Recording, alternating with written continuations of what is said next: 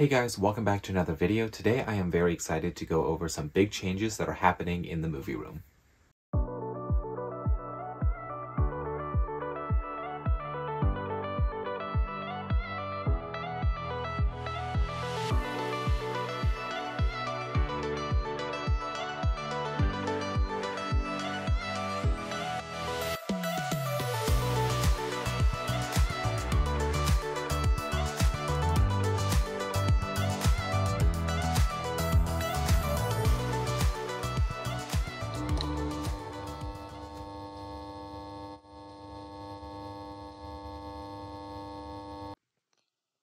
So like I said, guys, some big changes are going to be happening here in the uh, movie room. Uh, for starters, you might notice that these two shelves are completely empty. Uh, if you remembered, I had my uh, favorite directors, uh, all of their films were down here. I was running out of space. I had actually some a little bit of a pile up on the floor over here. And so I kind of fixed that problem. Uh, I also had some box sets up here and this was getting a little crowded and so I kind of kept it now Criterion, the one Arrow set, and then other two Criterion sets. Uh, so I, I kind of revamped that. Uh, also, uh, I don't know if I've ever actually showed this, in the last video I rearranged, uh, when I put the uh, all the VHS, or I guess it wasn't the last video, but one of the videos, I, when I put all the VHS here, I rearranged all my horror box sets. And so now it's the first row is all horror box sets and up top and even way up there in the rafters, I actually uh, ran out of space. So I have a few sets way up there, but um, so that's new, I guess. Uh, around the corner, it's actually much, much more um, messier. But uh, for starters, all of my Stephen King books are on the ground because uh, I put film trailers up here. Uh, so originally I built this shelf a uh, long, long time ago. I built this uh, specific shelf for Stephen King books, uh, and I designed it to be pretty strong. Um, and I wanted it to put to put Stephen King books, but I decided to uh, swap out the Stephen King books with some film trailers. and I'll show you where these were and why I decided to move them. So uh, I think this looks a whole lot better. I think I can actually look at what I have here and it's not so uh, buried. One thing with this room that I was really, I really, really wanted was nothing was behind anything. So there wouldn't be any like two layers of anything. So this is all single layered on all of these so I can actually see what I have. Not that I have any means to watch these, but I think it's just really cool to check them out. Uh, I also got rid of some duplicates of film trailers. I had like a small box of just like the exact same copy um, of the film. So uh, there are two different versions, I guess. Um, there's flat and scope. Um, I think that has to do with audio, if I'm not mistaken. I'm not, I might, no, because scope, it might have to do with the way that it's like projected. Don't quote me on that. I don't know a whole lot about film, like actual stuff like that.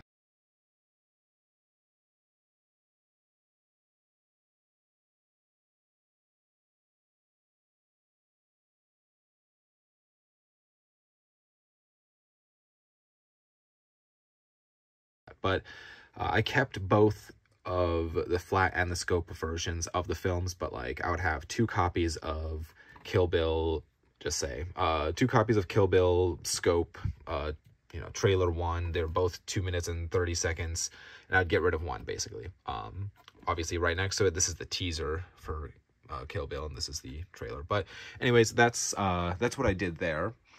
And they all barely fit. Actually, I had to end up putting a few up there on the uh, the I-beam that runs through the uh, the basement. So that's what I did there. Um, now over here, the the movie room is kind of a mess right now. Um, I have my tube TV sitting on the floor here. I have the speaker that it was sitting on over there. Uh, so this is all VHS that I'm going to be probably getting rid of. Uh, this is about half the collection of my VHS tapes. I decided just to go through it and just really curate it and really ask myself, you know, if I saw it at a thrift shop for like a quarter or honestly even like you know, free, would I actually be excited to get it? Uh, is it actually adding value to my collection? So I went through anything that I didn't think that was really adding value or stuff that um, I just didn't really care to, about watching anytime soon or really ever. I just put in a big pile. Uh, some of the stuff I might just throw on the TV when I'm working in here just so I can, um, you know, just see if it's something I'm even remotely interested in. Uh, also, I'm getting rid of my Best Picture winner VHS tapes. So that's what these three rows right here are. These are all the like Best Picture winners that I have that I also have like over there. So I yeah, I don't really need them on VHS as well because I all I have them all on DVD or Blu-ray. So that's what those are. They're probably all going to be going. Um, and so this this changed a little bit. Um, this bottom row and part of this row became movies that I had on uh, DVD as well. So uh, the other side is like movies that I have on DVD or Blu-ray, and this also just mainly just for the artwork. I just think it's kind of cool. Um, I might have to go through all of this again. I didn't really do too much on this side. I'm definitely keeping all my James Bond VHS, but some of these like CBS Fox or RCA Video or MGM um, like collector or collection like movies, all of those I need to go through. I might be getting rid of some of those. So by getting rid of about half the VHS tapes, that allowed me to do this. Uh, if you remember, this whole side was all VHS all the way down and there was a shelf running across. That was all VHS as well. Uh, if you want to know how that looks, I do have a video going over my whole movie room collection, so you could go check it out and then come back, I guess, see what I did differently. Um, but this allowed me to do all my favorite directors, and I think I just like it how they're just like displayed nicer. They don't feel as like packed um, all the way down to the ground, and I feel like I can actually see them and I actually like appreciate, you know, different works by different directors. Uh, I did also add, um, I added Dario Argento to my favorite directors section. I'm still missing about 13 of his films, but all of the ones that I have seen, um, I absolutely love. And so with this collection, I feel like the the way I usually do it is if it's a director that I seek out their movies solely because or based off of them be like as the director, uh, I do pretty much consider them to be one of my favorites. Uh, I guess like Nicolas Winding Refn is an example. Uh, when I saw Drive, I immediately sought out anything else that the like that he's made. Obviously, I'm missing three of his movies, but um, yeah. So I like all the other ones. Like I like all of these uh, movies, but that's kind of how I base it. And it's also just directors that I really do enjoy watching. Um, the other thing that kind of changed, this is my director's VHS tapes. Now, I might be going through these and getting rid of some of them just because if I have the movies, like I have a bunch of Alfred Hitchcock VHS, but I also have them all on DVD or Blu-ray up there. So it doesn't really make sense to have duplicates of those. Uh, some of them, like Taxi Driver on VHS, obviously I have it on Blu-ray over there, but the VHS of Taxi Driver is kind of cool. Uh, same thing with like some of the Quentin Tarantino stuff. And these are just like, it's a collection of like a Hollywood romance or something. Uh, so I have a few of those, but I didn't really know how to put those. But I might be getting rid of some of the uh, director's VHS. I don't know. Uh, and same thing for this shelf here. This is all Western, like Westerns. Uh, so I need to go through those and decide if I want to keep all of those. And yeah, I don't know. Another thing that small, I mean, very small thing changed. These laser discs were over here. Uh, I decided to move those out because I would like to. The next thing that I want to go through is all my laser discs. I don't really particularly in like buy laser discs like I used to. I used to buy pretty much if it was on Laserdisc and cheap enough, I would buy it. So I basically want to go through all of the laser discs and decide, same thing with the VHS, if it's a movie that I actually care about, keep it. If it's a movie I'm never going to watch, why own it? So I'm trying to curate that collection as well. Uh, the only laser discs that I really buy anymore are horror or Criterion. And, or unless if it's a movie that I really uh, like, I guess. Um, but yeah, I need to curate that whole collection as well. I'll eventually get around to that. and then over here, my wife did a fantastic job of reorganizing these three shelves. I let her, you know, design it however she wants. And so uh, this is what she came up with, and I'm very happy with it. I think it looks really, really good. Uh, up top is uh, some VHS. There's a, like, I think it's a, like, Japanese, uh, like, I guess, uh, it's not, it says trilogy, but it's actually all six films. Uh, beta, VHS, VHS, VHS. Um, and then down here, just CED, Laserdisc, VHS, more VHS, and film.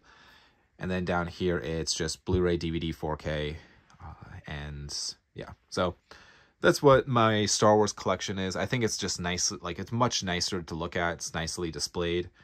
Uh, and honestly, this might be changing with, I might be getting rid of these movies. I haven't, like the sequel movies, I guess. The sequel trilogy. Uh, I might be keeping one copy, but getting rid of the rest. I haven't quite decided. I might make a video on that later, so... Um, and then down here, small changes, but I reorganized the film. Obviously, the 35 millimeter film trailers are over on the other shelf. There were some up here, and then there were some down there. And so I just basically put 8 millimeter here and more 16 millimeter there. And that's also 16 millimeter down there. So just trying to make this look nicer, not as crowded, and um, you can actually see what I have.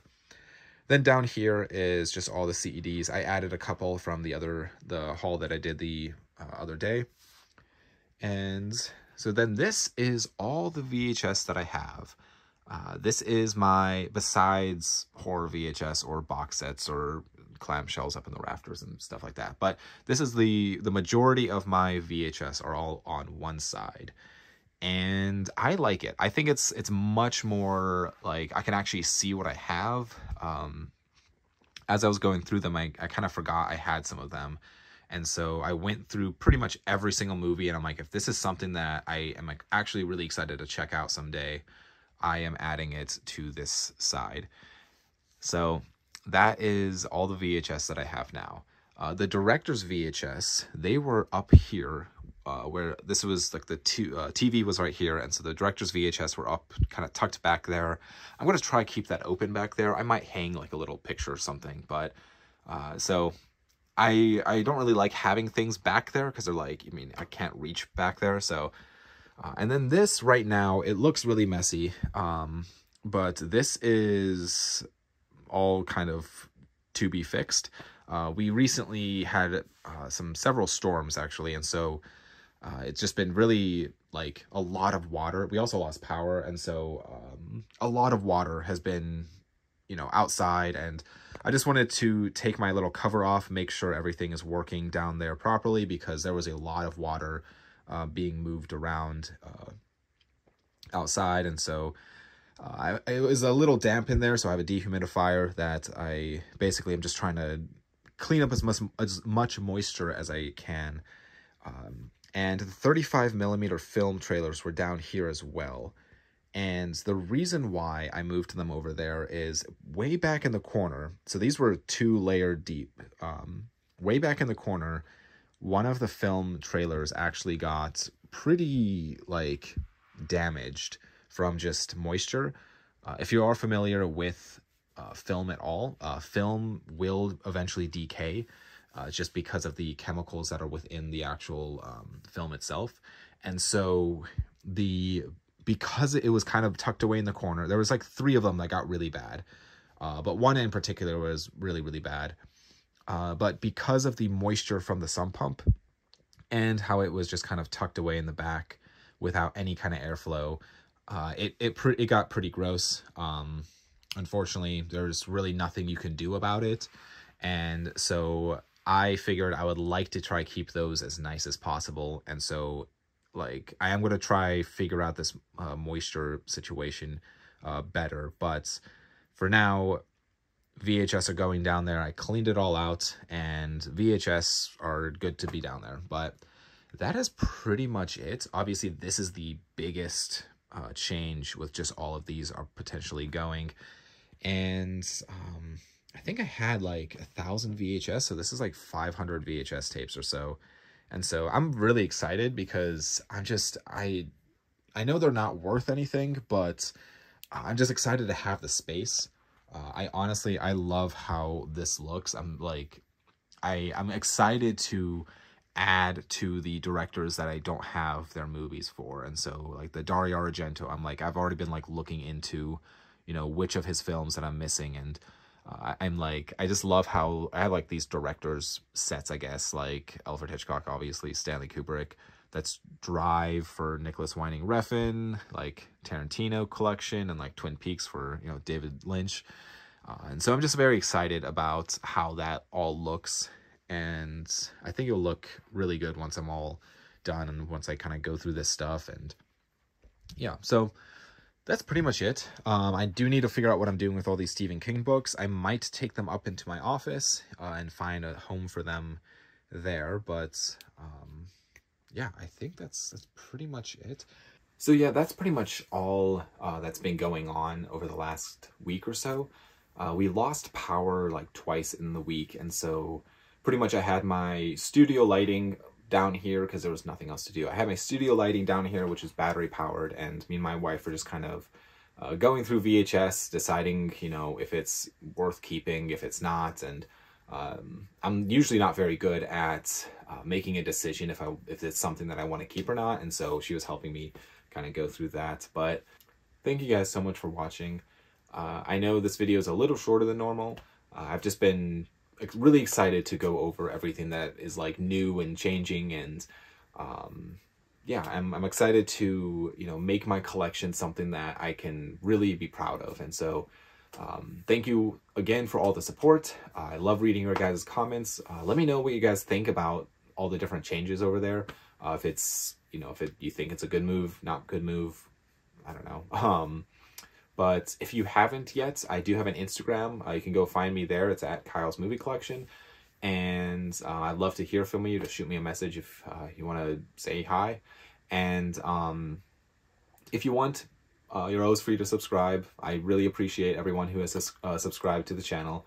Um, but don't feel obligated to. So uh, thank you guys again so much for watching. And I will see you guys in the next video. Bye.